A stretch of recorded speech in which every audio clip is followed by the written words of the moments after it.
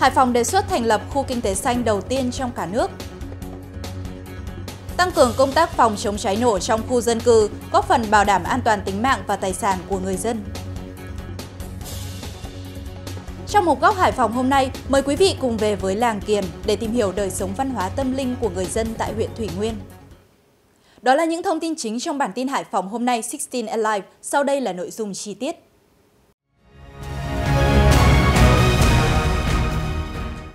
Quý vị, thành phố Hải Phòng đang khẩn trương nghiên cứu đề xuất chính phủ thành lập khu kinh tế ven biển phía Nam Hải Phòng theo định hướng khu kinh tế xanh đầu tiên tại Việt Nam. Tại Hải Phòng, khu công nghiệp Deep Sea và khu công nghiệp Nam Cầu Kiền định hướng phát triển thành khu công nghiệp sinh thái, đang đi tiên phong trong việc xây dựng khu công nghiệp sinh thái ở Việt Nam. Thành phố rất mong muốn nhận được sự quan tâm, ủng hộ và tạo điều kiện của chính phủ, các bộ, ngành, địa phương đối với đề xuất này, cam kết tiếp tục thực hiện đồng bộ và quyết liệt các giải pháp đưa Hải Phòng trở thành thành phố xanh dựa trên cơ sở một nền kinh tế xanh, bền vững. Đồng thời triển khai hiệu quả các dự án tăng trưởng xanh trong thời gian tới nhằm nâng cao năng lực cạnh tranh của thành phố với tầm nhìn mục tiêu trở thành hình mẫu của một thành phố năng động, xanh, sạch, đáng sống ở khu vực, điểm đến hấp dẫn các nhà đầu tư trong và ngoài nước. Vừa qua tại Hà Nội, Ban tổ chức lễ hội Hoa Phượng Đỏ Hải Phòng năm 2024 đã làm việc với đại diện các đơn vị chuyên môn của Đài truyền hình Việt Nam, thống nhất điều kiện bảo đảm truyền hình trực tiếp đêm nghệ thuật khai mạc lễ hội Hoa Phượng Đỏ lần thứ 11 năm 2024. Theo đó, chương trình nghệ thuật đêm hội với chủ đề Hải Phòng bừng sáng miền di sản, chào mừng kỷ niệm 69 năm ngày giải phóng Hải Phòng và đón nhận danh hiệu Di sản Thiên nhiên Thế giới Vịnh Hạ Long, quần đảo Cát Bà của Ủy ban Di sản Thiên nhiên UNESCO sẽ được tổ chức vào lúc 20 giờ 10 thứ Bảy, ngày 11 tháng 5 tới đây, được coi là điểm nhấn ấn tượng của lễ hội Hoa Phượng Đỏ Hải Phòng năm 2024. Đêm hội diễn ra tại quảng trường phía trước Trung tâm Chính trị Hành chính thành phố, tại khu đô thị mới Bắc Sông Cấm, huyện Thủy Nguyên, được truyền hình trực tiếp trên kênh VTV1, Đài truyền hình Việt Nam với thời lượng 90 phút, tiếp sóng trên kênh THP và các nền tảng số của Đài Phát thanh và Truyền hình Hải Phòng. Với nhiều nét đổi mới, hấp dẫn từ nội dung đến hình thức thể hiện, chương trình nghệ thuật được ứng dụng công nghệ, hiệu ứng mới nhất với một sân khấu thiết kế hiện đại, hoành tráng, rực rỡ sắc màu cùng sự tham gia biểu diễn của nhiều nghệ sĩ nổi tiếng trong cả nước. Nằm trong số các dự án lớn đang triển khai trên địa bàn phường Hoàng Nghĩa, quận Dương Kinh, thời điểm này, một số thửa đất nằm trong dự án xây dựng khu đô thị mới Dương Kinh, Kiến Thụy và dự án xây dựng tuyến đường Hải Phong chưa xác định được chủ sở hữu, nguồn gốc đất. Điều này ảnh hưởng đến tiến độ triển khai các dự án cũng như việc thực hiện kiểm đếm, đền bù, thu hồi đất tại địa phương. Đây là một trong số các thửa đất nằm trên địa bàn tổ dân phố số 2, phường Hoàng Nghĩa, quận Dương Kinh. Và đây cũng là một trong số những thửa đất đang nằm trên địa bàn tổ dân phố số 1. Sẽ không có điều gì đặc biệt nếu như những thửa đất này không nằm trong các dự án đang được kiểm đếm thu hồi. Và đặc biệt hơn lại chưa xác minh được nguồn gốc chủ sở hữu hiện tại. Thời gian qua, Ủy ban nhân dân phường Hòa Nghĩa đã phối hợp với các phòng cơ quan chuyên môn ra soát quy chủ, xác định nguồn gốc, quá trình sử dụng đất để phục vụ công tác kiểm kê, thu hồi đất thực hiện dự án. Tuy nhiên đến nay, còn một số diện tích đất chưa xác định được chủ sử dụng đất do chưa đến Ủy ban nhân dân phường để kiểm kê, cung cấp hồ sơ, giấy tờ đất có liên quan theo quy định. Cái tuyến đường Hải Phong đi qua đấy thì hiện giờ còn một số cái hộ dân đến giờ phút này thì địa phương cũng chưa quy chủ được bởi vì là có cái việc mua bán chuyển nhượng qua tay rất nhiều lần trên cùng một thửa đất thế và người mua bán sau cùng thì lại không có mặt trên địa phương. Chúng tôi cũng đang tập trung xác định nguồn gốc đất kiểm kê thực hiện cái dự án xây dựng khu đô thị mới Dương Kinh Kiến Thụy. À, địa phương cũng đã xác định được à, nguồn gốc trích lục nguồn gốc đất cho hơn 1.000 thửa quá 2 phần 3 cái tổng số hộ là cũng đã được hoàn thiện hồ sơ. Thực hiện các thông báo số 90 ngày 22 tháng 1 năm 2024 về thu hồi đất để xây dựng dự án đầu tư khu đô thị mới tại khu vực quận Dương Kinh và huyện Kiến Thụy và thông báo số 195 ngày 5 tháng 12 năm 2023 về thu hồi đất để xây dựng tuyến đường Hải Phong, đoạn từ đường 353 đến ngã tư Hải Phong của Ủy ban Nhân dân quận Dương Kinh. Các tổ chức cá nhân có quyền sử dụng đối với các thửa đất nằm trong chỉ giới thu hồi để thực hiện hai dự án trên đến trụ sở Ủy ban nhân dân phường Hòa Nghĩa hoặc Trung tâm Phát triển Quỹ đất quận Dương Kinh cung cấp các giấy tờ tài liệu có liên quan đến quyền sử dụng đất để được hướng dẫn thực hiện quy trình thu hồi đất theo quy định. Thời hạn đến hết ngày 30 tháng 4 năm 2024, các tổ chức cá nhân không đến phối hợp cung cấp hồ sơ giấy tờ có liên quan. Ủy ban nhân dân phường Hòa Nghĩa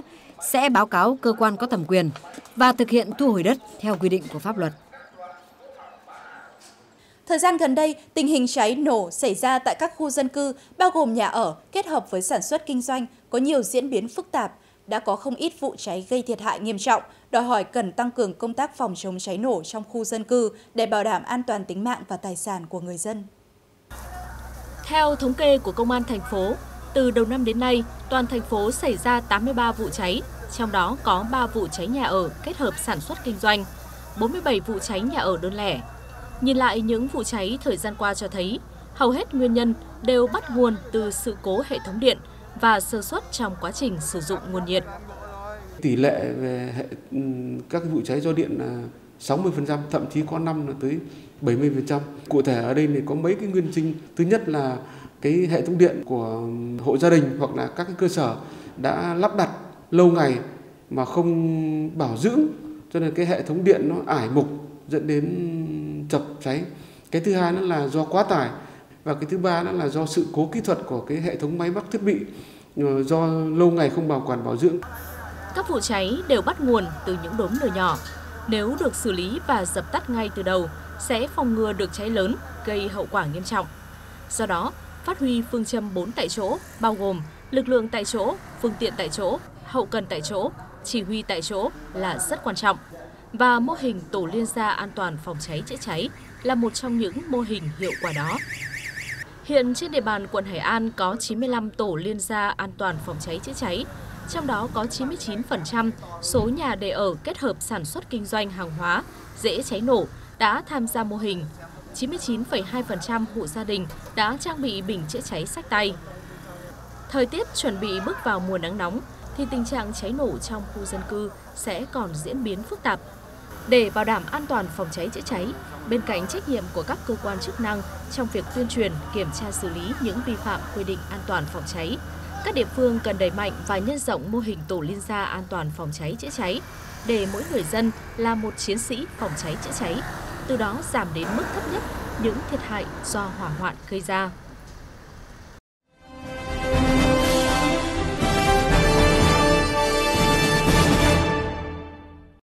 Hơn 300 năm tuổi, Đình Kiên Bái tại xã Kiên Bái, huyện Thủy Nguyên luôn hấp dẫn du khách thập phương bởi giá trị lịch sử và nghệ thuật, trang trí kiến trúc tài hoa của người xưa. Trong một góc Hải Phòng, mời quý vị cùng về với làng Kiền để tìm hiểu đời sống văn hóa tâm linh của người dân địa phương. Đình Kiên Bái tại xã Kiền Bái, huyện Thủy Nguyên thu hút du khách thập phương và các nhà nghiên cứu không chỉ bởi giá trị lịch sử mà còn bởi nét đẹp nghệ thuật trong kiến trúc, tài hoa mà phóng khoáng của người xưa – và ngày hôm nay, Nhã Phương xin được giới thiệu tới quý vị và các bạn nét đẹp văn hóa tâm linh truyền thống được lưu truyền từ xa xưa tại ngôi đình cổ kính này. Đình Kiền Bái được xây dựng vào nửa cuối thế kỷ 17, kiến trúc hoàn toàn bằng gỗ lim, là ngôi đình hiếm hoi ở Hải Phòng còn giữ được hệ thống ván sàn từ khi khởi dựng. Bên cạnh nét kiến trúc mang vẻ đẹp cổ xưa độc đáo, Đình Kiền Bái cũng được biết đến là nơi tổ chức nhiều lễ hội lớn được tổ chức từ ngày 10 đến ngày 13 tháng riêng âm lịch hàng năm. Vào những ngày này, dân làng gia đình tế lễ và nô nức vào hội, hội hát đúm, hội nấu bánh trưng, trò chơi dân gian cướp cây bông, gắn kết người dân, nâng cao đời sống tinh thần và duy trì nét độc đáo của văn hóa Việt. Đối với người dân Kiền Bái thì ngôi đình gần như là một cái nơi tâm linh mà có thể nói là bất khả xâm phạm mà đặc biệt là người Kiền Bái thì có một cái đặc thù là cứ hàng tháng là ngày vào ngày tuần mùng 1 và hôm rằm là à, đoàn tế lam quan của đình là đều dâng tuần tế. Ngày mùng 5 tháng 5 là, là tế cơ mới ngày mùng 10 tháng 10 là tế trùng thập. Còn hàng năm thì cứ vào ngày mùng 10 11 12 13 là làng sẽ mở hội. Sau đó rồi thì là à, tất cả các lứa tuổi từ 50 60 70 80 90 100 là đều có lễ về làng về đình để dâng vị thần hoàng. Với những giá trị lịch sử và nghệ thuật đó, cho đến nay Đình Kiền Bái vẫn được coi là một bộ sưu tập tranh điêu khắc gỗ quý giá, được tạo tác trên nền của một kiến trúc cổ kính và táo nhã, trở thành di tích kiến trúc tiêu biểu. Đặc biệt, đình Kiền Bái giữ được nguyên vẹn hồn cốt nét văn hóa tâm linh truyền thống của người dân miền cửa biển. Những thông tin vừa rồi cũng đã khép lại bản tin Hải Phòng hôm nay 16 Alive. Hẹn gặp lại quý vị và các bạn vào khung giờ này ngày mai. Thân ái, chào tạm biệt.